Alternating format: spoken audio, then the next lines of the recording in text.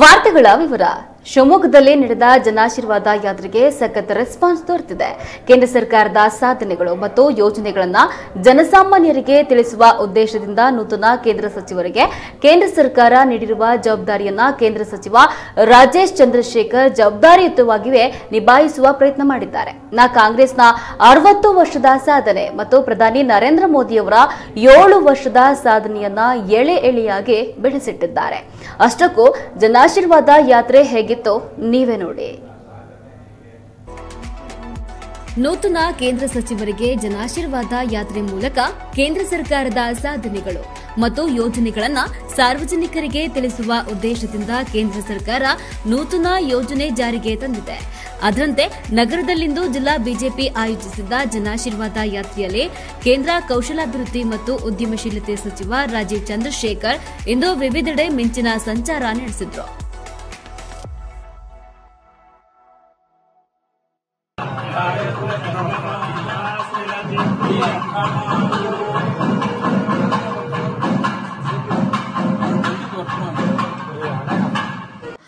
ಮೊದಲಿಗೆ ಕೋಟೆ ಶ್ರೀ ಸೀತಾರಾಮಾಂಜನೇಯ ದೇವಾಲಯಕ್ಕೆ ಭೇಟಿ ನೀಡಿ ವಿಶೇಷ ಪೂಜೆ ಸಲ್ಲಿಸಿದರಲ್ಲದೆ ದೇವಾಲಯದ ಆವರಣದಲ್ಲಿ ಗೋಪೂಜೆಯನ್ನ ನೆರವೇರಿಸಿದ್ರು.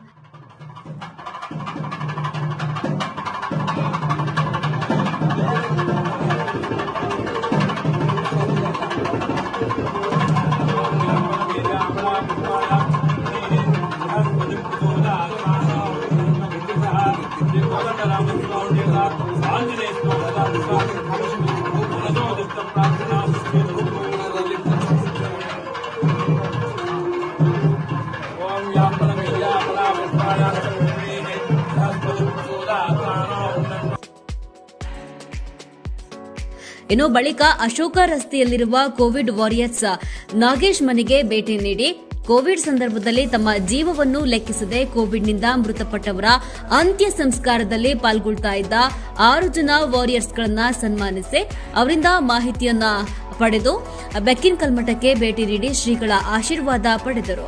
ಜನಾಶೀರ್ವಾದ ಸಭೆಗೆ ಚಾಲನೆ ಕೂಡ ನೀಡಿದ್ರು. ಈ ವೇಳೆ ಕಳೆದ ಅರವತ್ತು ವರ್ಷದ ಕಾಂಗ್ರೆಸ್ ಆಡಳಿತಕ್ಕೂ ಈಗಿನ ಏಳು ವರ್ಷದ ಪ್ರಧಾನಿ ನರೇಂದ್ರ ಮೋದಿ ಆಡಳಿತಕ್ಕೂ ಅಳೆದು ತೂಗೆ ಮಾತನಾಡಿದರು. ಕಾಶ್ಮೀರದಲ್ಲಿ ಆರ್ಟಿಕಲ್ ತ್ರೀ ಸೆವೆಂಟಿ ಕಾಯ್ದೆ ರದ್ದು ಸೇರಿದಂತೆ ಅರವತ್ತು ವರ್ಷದಲ್ಲಾಗದ ಕೆಲಸವನ್ನ ಮೋದಿ ಕೇವಲ ಏಳು ವರ್ಷದಲ್ಲಿ ಮಾಡಿ ತೋರಿಸಿದ್ದಾರೆ ಎಂದು ಹೇಳಿದರು.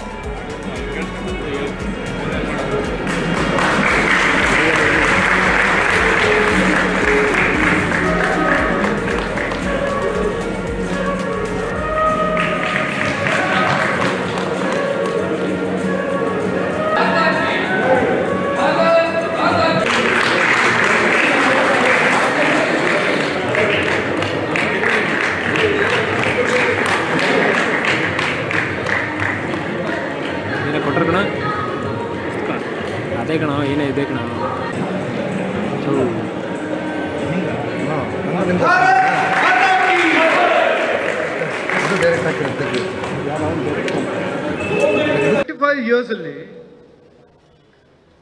ಅರವತ್ತು ಇಯರ್ ಡಾಮಿನೇಟೆಡ್ ಬೈ ಒಂದು ಒನ್ ಪಾರ್ಟಿ ಆ ಪಾರ್ಟಿ ಡೈನಸ್ಟಿ ಪಾರ್ಟಿ ಏನು ಪಾರ್ಟಿ ಗೊತ್ತಿಲ್ಲ ಬಟ್ ಒಂದು ಒನ್ ಪಾರ್ಟಿ ಮತ್ತು ಸೆವೆನ್ ಇಯರ್ಸ್ ನರೇಂದ್ರ ಮೋದಿಜಿ. ದಯವಿಟ್ಟು ಆ ಸಿಕ್ಸ್ಟಿ ಇಯರ್ಸ್ ವರ್ಸಸ್ ಈ ಸೆವೆನ್ ಇಯರ್ಸ್ ಸ್ವಲ್ಪ ಕಂಪೇರ್ ಮಾಡಿ. ನಾನು ಸ್ವಲ್ಪ ಹೆಲ್ಪ್ ಮಾಡ್ತೀನಿ. ನಮ್ಮ ಫ್ರೆಂಡ್ ರಾಘವೇಂದ್ರ ಜಿ ಹೇಳ್ತೀವಿ about section three seventy section three seventy ಈ ಅರವತ್ತು ವರ್ಷದಲ್ಲಿ ಆಗಿದೆಯಾ? ನೋ ಈ ಸೆವೆನ್ ಇಯರ್ಸ್ ಆಗಿದೆಯಾ? ಎಸ್ ಯಾಕೆ section three seventy is important into you are seeing the unrest in Afghanistan. You are seeing the nexus between Pakistan, China in our neighborhood. In that, at that time, if Jammu and Kashmir was not secure, peaceful, and integrated into India, ಯೋಚನೆ ಮಾಡಿ what all challenges we will have Because of Afghanistan situation.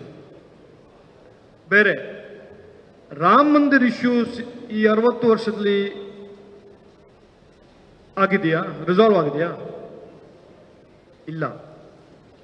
Seven years under Narendra Modiji ಅದು resolve ಆಗಿದೆ. Twenty six eleven terror attacks ತಮಗೆ ಎಲ್ಲ ಗೊತ್ತು. ಆ twenty six eleven ಏನು ಸರ್ಕಾರ ಮಾಡ್ತೀಯಾ? Any response no Pulwama terror attack Narendra Modi ji responded and responded it Balakot China war nineteen 1962. ನಾವು ಏನು ಮಾಡ್ತೀವಿ ವಾಟ್ ಈಸ್ ದ ಗೌರ್ಮೆಂಟ್ ಏನು ಮಾಡಿಲ್ಲ. Almost twenty thousand square kilometres of land was surrender to China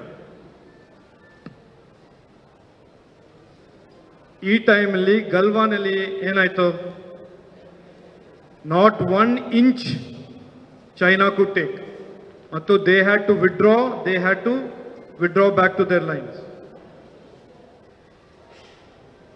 ಈ sixty years ಅಲ್ಲಿ ಎಷ್ಟು corruption case ಬಗ್ಗೆ ತಾವೆಲ್ಲ ಯು ಹವ್ ಹರ್ಡ್ ಅನ್ಕೌಂಟಬಲ್ ಒಂದು ತುಂಬ ಲಾಂಗ್ ಲಿಸ್ಟ್ ಇದೆ ಈ seven years of Narendra Modiji government have you heard of one corruption case ಇಲ್ಲ sixty years ಗವರ್ಮೆಂಟಲ್ಲಿ for polio vaccination of the country ಎಷ್ಟು ವರ್ಷ they took more than ten eleven years to complete polio vaccination ಈ Covid ಟೈಮಲ್ಲಿ Narendra Modiji government is going to vaccinate one point two billion Indians in one year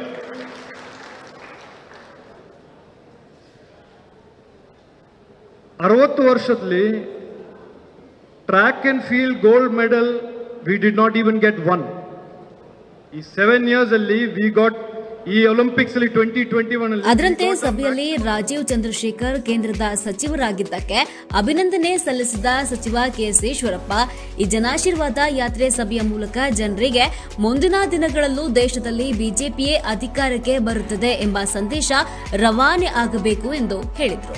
ಈ ಮೊದಲು ವಿಶ್ವದ ಎಲ್ಲಾ ರಾಷ್ಟ್ರಗಳು ಪಾಕಿಸ್ತಾನವನ್ನ ಬೆಂಬಲಿಸ್ತಾ ಇದ್ವು. ಆದ್ರೆ ಈಗ ಮೋದಿ ಸರ್ಕಾರ ಬಂದ ಬಳಿಕ ಎಲ್ಲಾ ದೇಶಗಳು ಭಾರತವನ್ನ ಬೆಂಬಲಿಸ್ತಾ ಇದ್ದು ಪಾಕಿಸ್ತಾನವನ್ನ ಒಬ್ಬಂಟಿಯಾಗಿಸಿದೆ. ಎರಡು ಸಾವಿರದ ಇಪ್ಪತ್ನಾಲ್ಕರಲ್ಲೂ ತಮ್ಮ ಸಾಧನೆಯನ್ನ ಜನರ ಬಳಿಗೆ ಕೊಂಡೊಯ್ದು ಮತ್ತೊಮ್ಮೆ ಬಿಜೆಪಿ ಸರ್ಕಾರ ಕೇಂದ್ರದಲ್ಲಿ ಬರಲಿದೆ ಈ ಹಿನ್ನೆಲೆಯಲ್ಲಿ ಜನಾಶೀರ್ವಾದ ಯಾತ್ರೆ ಕೈಗೊಳ್ಳಲಾಗಿದೆ. ರಾಜ್ಯದಲ್ಲೂ ಕೂಡ ನೂತನ ಶಕ್ತಿಶಾಲಿ ಸಂಪುಟ ರಚನೆಯಾಗಿದೆ. ಬೂತ್ ಮಟ್ಟದಲ್ಲಿ ಬಿಜೆಪಿ ಶಕ್ತಿಶಾಲಿಯಾಗಿ ಸಂಘಟನೆ ಆಗಿದೆ. ಮುಂಬರುವ ಎಲ್ಲ ಚುನಾವಣೆಗಳಲ್ಲೂ ಬಿಜೆಪಿ ಗೆಲುವು ಸಾಧಿಸಲಿದೆ ಎಂಬ ವಿಶ್ವಾಸವನ್ನ ವ್ಯಕ್ತಪಡಿಸಿದ್ರು.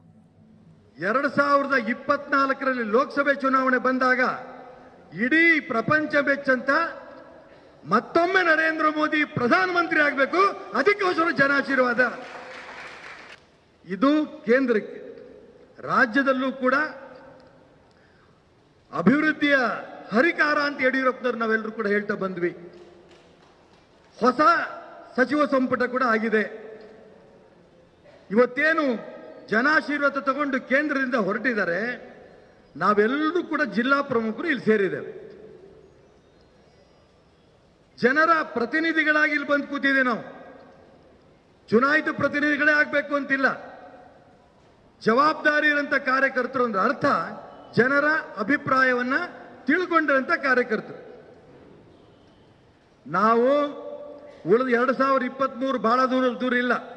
ಇನ್ನು ಒಂದು ವರ್ಷ ಹತ್ತು ತಿಂಗಳಷ್ಟರೊಳಗೆ ಮತ್ತೆ ಅಸೆಂಬ್ಲಿ ಚುನಾವಣೆ ಬರದಿದೆ. ಏನು ಯಡಿಯೂರಪ್ಪನವರು ಇಡೀ ಕರ್ನಾಟಕ ರಾಜ್ಯದಲ್ಲಿ ಮುಖ್ಯಮಂತ್ರಿ ಆದಂಥ ಸಂದರ್ಭದಲ್ಲಿ ಅಭಿವೃದ್ಧಿ ಕೆಲಸಗಳು ಮಾಡಿದ್ರು, ಆ ಅಭಿವೃದ್ಧಿ ಕೆಲಸಗಳನ್ನ ಮಾನ್ಯ ಬಸವರಾಜ ಬೊಮ್ಮಾಯಿ ಅವರ ನೇತೃತ್ವದಲ್ಲಿ ಖಂಡಿತ ನಾವು ಮುಂದುವರಿಸೇ ಮುಂದುವರಿಸ್ತೇವೆ. ಇದು ಸಾಮಾನ್ಯ ಜನರಿಗೆ ಹೇಳಬೇಕು.